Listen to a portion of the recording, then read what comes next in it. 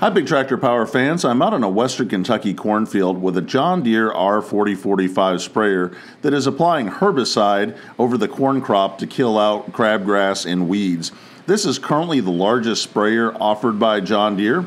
It is rated at 346 horsepower, has a 1200 gallon chemical tank, and a 120 foot sprayer boom. A 132 foot boom is optional for this sprayer. A new 1600 gallon model R4060 is on the way for model year 2020, and I'm looking forward to seeing that sprayer at work out in the field. But for now, we'll take a look at the R4045. We'll see and hear it at work in this video. And to get started, we're going to climb up in the cab and ride along with the operator to see what it's like to drive a big machine like this.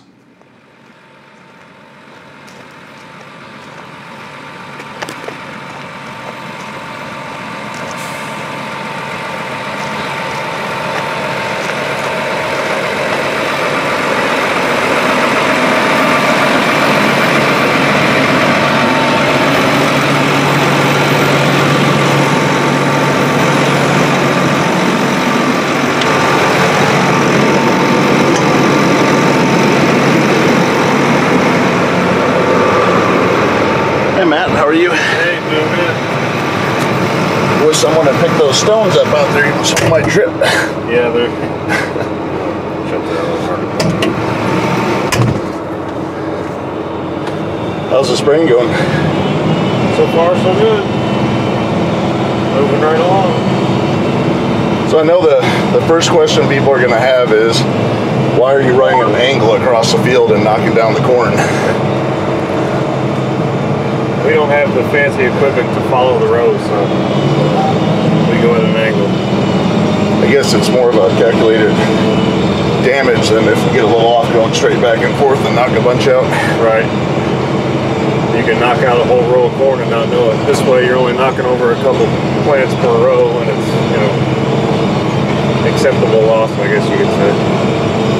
Well, definitely helps the rest of the crop succeed. It does.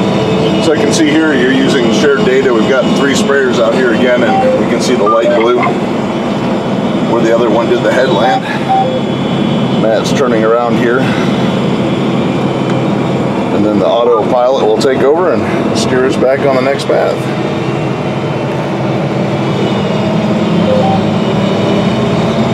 We can see the wheels are not following the road but again, just a little bit of damage to have a lot more yield elsewhere. You can see those 120 foot booms. That's two of the 24 row planter passes across the field each time the sprayer goes. How fast are we going, Matt? Uh, I'm doing 17. It's a little bit faster than wheat, less ruts and bumps. Yeah, it's a little smoother and we're putting out less gallons per acre, putting out 12 gallons to the acre, so we can go a little bit faster. So what are you uh, what are you spraying here? Is the corn starting to come up? Uh, it's herbicide to kill the weeds. Make sure the corn gets all the fertilizer and the weeds don't take over. So now does the farm uh, spray again for insects or nitrogen at all on the crop, but or what, what will happen the, uh, next? the anhydrous was the only fertilizer it'll get, and uh, this is the only time we'll spray it other than uh, fungicide, which we use a, a Hagie sprayer for because it's taller and you can get over the corn. Yeah, I guess that'll be right at the end of June, early July when it's all tasseled out. Yeah. It won't long, be long before this is knee high. Yeah, the first uh, the first corn we planted is is knee high. It's, it's coming along pretty good. So how many acres are you getting uh, between Phillips out here? Uh, 100 acres.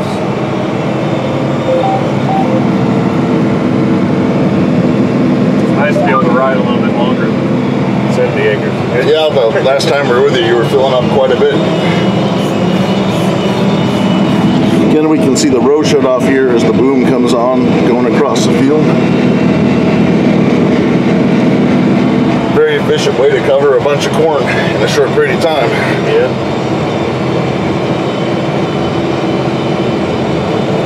And again, I guess we can see you've got your iPad that we've seen on the other trips where you're Yeah. painting across this field. Yeah, here's the field that we're in right there.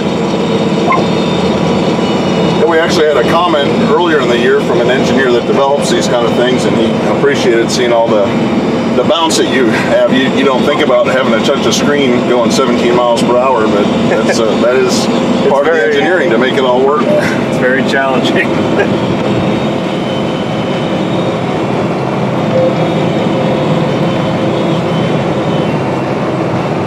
Well, Matt, as always, thanks for the tour of the sprayer, and I guess Anytime. we'll catch up with you after the double crop beans are planted in June, and you'll be spraying again.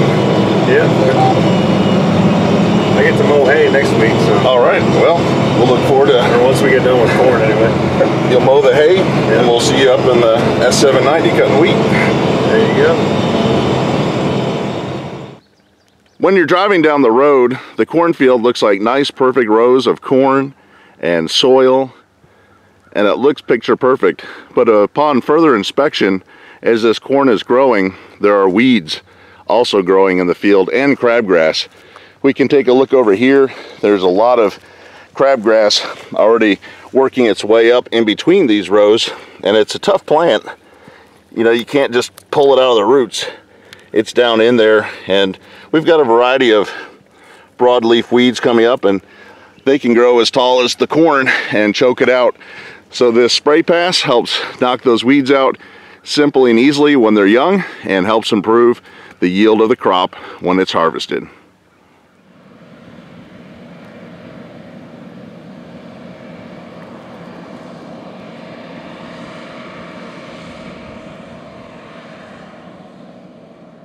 Here we have a good opportunity to see how the automatic boom shutoff works on this 120 foot wide sprayer.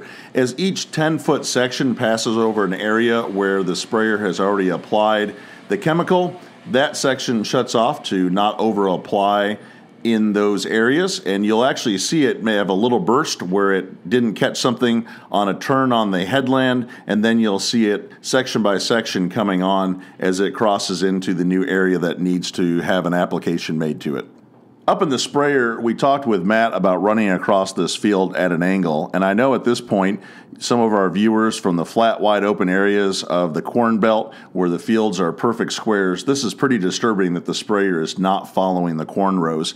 Here in western Kentucky, the fields are rolling, they're odd shaped, there are sinkholes, washouts, and other obstructions that don't allow for these sprayers just to run in perfect squares. You can see here where the sprayer was on the headland and it got off course and it knocked down a whole bunch of plants. When you're running at 17 miles per hour across the field and you get off your row, it'll be 30, 50 feet before you can react and get back on the row. So you're going to knock over plants one way or another. Here we can see what Matt was talking about. It's just about two plants per pass as the sprayer runs across the field, and that's better than what we saw in the headland where it had knocked off a bunch of rows if the wheel got a little out of alignment.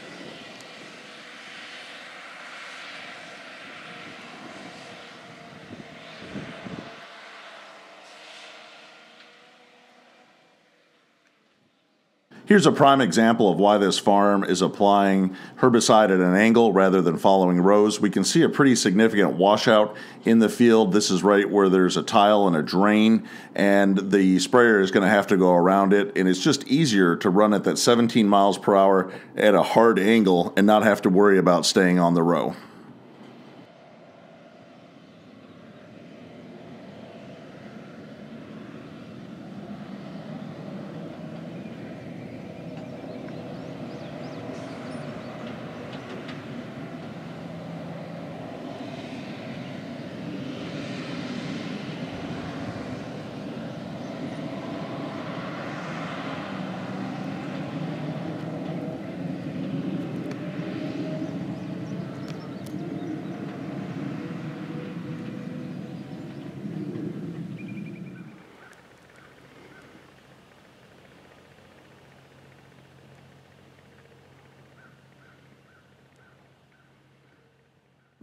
The number one question many viewers have is what does a big machine like the R4045 cost? According to JohnDeere.com, this sprayer with the 120 foot steel boom has a list price of $492,440.